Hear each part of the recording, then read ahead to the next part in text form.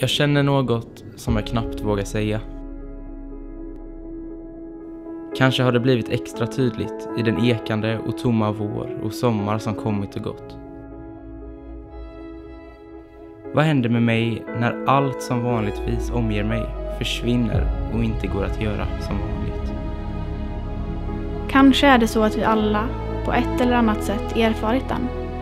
Ensamheten, oron, tystnaden, tomheten, frånvaron. Bibeln är fylld av berättelser om människor som upplever en förvirring inför den värld de finns i. En osäker värld som förändras och där också Gud upplevs frånvarande. Där finns frågorna om var och vem han är, vad han tänkte att göra och när. Men det är bara ena halvan av berättelsen. I berättelsen om den Gud som Bibeln beskriver finns också ett löfte om hans ständiga närvaro. Han är alltid där.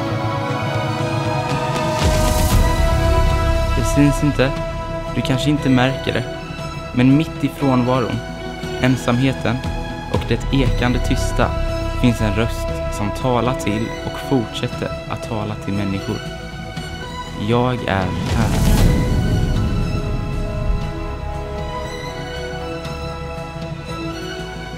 De människor som under årtusenden fått och än idag fortsätter att få möta Gud talar med en enad röst om samma sak.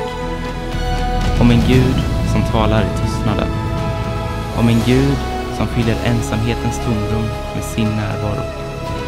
En Gud som visar att han har kontroll över och tar människor igenom kaos och osäkerhet.